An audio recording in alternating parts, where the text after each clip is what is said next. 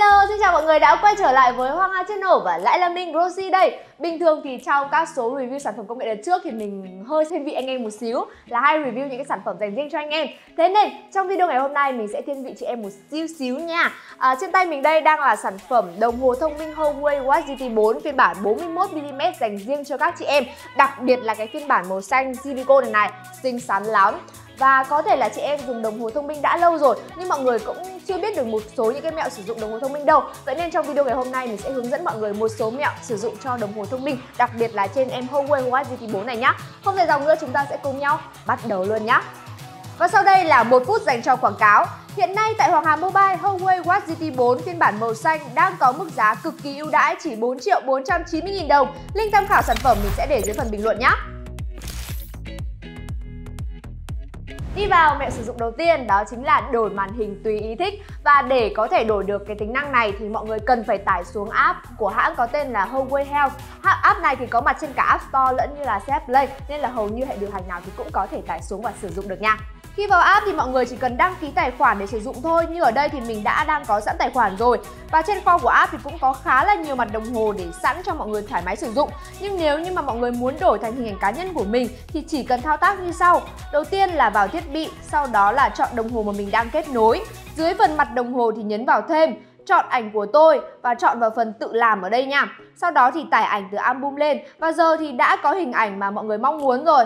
Thêm một cái mẹo khá là hay ho nữa mà dạo gần đây mình khá là hay sử dụng Đó chính là nhật ký ăn uống. Thông qua đây thì mọi người có thể ghi lại khẩu phần ăn trong ngày của mình này Và app sẽ thay mọi người tính luôn là cái lượng calo mà mọi người nạp vào là bao nhiêu Nó có đủ hay không và nó có đang bị dư thừa hay không nữa nha. Và để dùng tính năng này thì mọi người chỉ cần vào app Chọn quản lý cân nặng Sau đó chỉ cần điền thông tin cá nhân về cân nặng này, chiều cao và giới tính của mình là được nha. Ở phần giữ dáng thì mọi người sẽ nốt đủ 3 bữa mỗi ngày. Ở đây thì cũng có sẵn những cái món để mọi người có thể chọn nhé Sau khi chọn xong thì trên app sẽ hiển thị đầy đủ mức calo của từng món và từng bữa chi tiết luôn nha. Và dành riêng cho những chị em nào đang muốn giảm cân giữ dáng thì ở trên app cũng có sẵn luôn đó ạ ở đây thì sẽ có sẵn các kế hoạch, phương pháp nhịn ăn gián đoạn ở mức, có ở mức mới bắt đầu này. Và trung bình thì sẽ được dùng ở free. Nhưng còn đối với những cái mức độ khác thì mọi người cần phải mua VIP mới dùng được nha. Nhưng mà mình nghĩ là mọi người vẫn nên thử cái phương pháp làm quen dần trước. Và nếu cảm thấy phù hợp thì sau đó có thể cân nhắc dùng tiếp cũng được nhé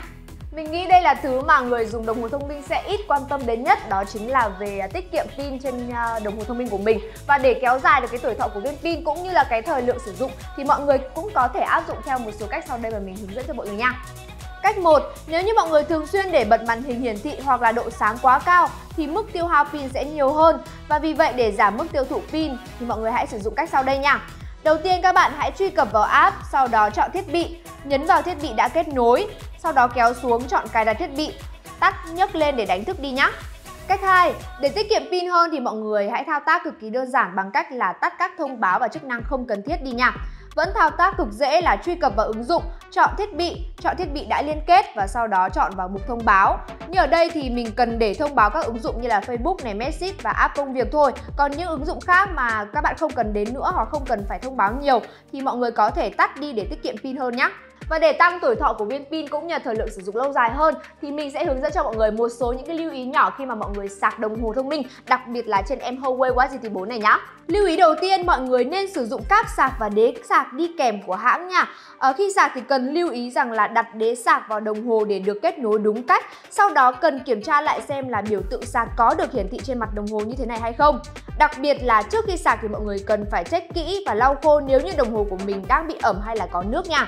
Và đồng hồ thông minh thì không những giúp cho mọi người phục vụ trong cái cuộc sống hàng ngày, mà nó còn giống như một món phụ kiện đeo tay cực kỳ xinh xắn và sang trọng nữa. Vậy nên mọi người hãy cần lưu lại ngay những cái mẹo nhỏ này để giúp cho đồng hồ của mình luôn được như mới nha. Việc cần làm đầu tiên khi dinh một em đồng hồ thông minh về đó chính là nên lựa chọn cho mình một phiên bản dây đeo phù hợp.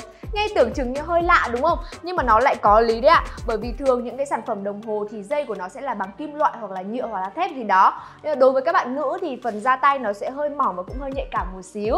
Thế nên là mọi người nên cân nhắc lựa chọn cho mình một cái phiên bản dây da phù hợp hơn nha. Như em Huawei Watch GT4 mình đang có ở đây thì phiên bản của nó là phiên bản dây silicon khá là nhẹ nhàng cũng như là mềm mại nữa. Nên là mọi người cũng có thể lựa chọn cân nhắc lựa chọn phiên bản dây này nhá. Và mẹo nhỏ số 2 Mình biết là cái này cũng khá là nhiều chị em mắc phải lắm, Bởi vì mình cũng là người từng như vậy. Khi mà mọi người đi làm về, mình không đeo đồng hồ nữa Thì mình hay có cái thói quen là tháo đồng hồ ra để chung trong cái túi đi làm này, Hay là mình để trong cái hộp đồ phụ kiện. Nhưng mà cái điều này vô hình chung là Khi mà các bạn để chung với nhiều món đồ như thế Thì nó sẽ dễ dàng bị gây ra cái tình trạng là va đập, Thế nên là đồng hồ sẽ rất dễ bị xước. Mà một khi đồng hồ bị xước thì thật sự là nó nhanh cũ lắm mọi người ạ. Nên là mọi người cần phải sửa ngay nha. Mình có thể cân nhắc đến cái việc là dán màn hình cho đồng hồ Hoặc là để đồng hồ một nơi nào đó riêng biệt khi không sử dụng nữa nhé. Em Huawei Watch GT 4 này thì cũng có khả năng chống nước nhưng mà hãng sẽ không khuyến khích mọi người sử dụng trong một số cái trường hợp sau như mọi người đi bơi, đi lặn này hay đi hay là tắm nước nóng hoặc là hoạt động cái môi trường nó liên quan đến nước đâu. Bởi vì là thường trong nước bể bơi hay đi lặn ấy thì ở bể bơi sẽ có clo hoặc là các bạn đi biển thì sẽ trong biển nó sẽ có nước muối mà. Và những cái ờ, chất đấy nó sẽ không tốt cho cái sản phẩm linh kiện đồng hồ điện tử một xíu nào cả. Nên là mọi người có đi bơi hoặc đi chơi thì cũng nên cân nhắc nhá. Và gần đây trong số những cái video khác ở trên các nền tảng khác của chúng mình thì bọn mình cũng nhận được khá là nhiều thắc mắc của mọi người. Mọi người hỏi là vì sao cái phiên bản màu dây xanh như thế này thì lại được đặc biệt hơn? Thật ra lý do là đơn giản lắm mọi người ạ, vì nó được ra mắt sau, cũng như là chất liệu của nó được làm bằng silicon từ chất liệu này hay đến là họa tiết thì hãng cũng sẽ được gia công tỉ mỉ hơn nữa. Và đặc biệt, riêng cái phiên bản dây màu xanh như thế này đeo lên tay rất sáng da nha mọi người nha. Mặc dù mình là một đứa có cổ tay khá là nhỏ, nhưng khi mà mình đeo đồng hồ thông minh và phiên bản màu dây xanh như thế này thì nhìn nó cũng khá là nhẹ nhàng và thanh thoát nữa, mọi người thấy không? Ok và vừa rồi là những chia sẻ của mình về các mẹo sử dụng trên chiếc đồng hồ thông minh Huawei Watch GT4 này. Hy vọng là đã đem lại những cái thông tin hữu ích đến cho mọi người. Và nếu như mọi người thấy video này hay thì đừng quên để lại một like, một share cũng như là một subscribe cho kênh của Hoàng Hà Channel nhé Còn bây giờ thì xin chào và hẹn gặp lại mọi người, bye bye!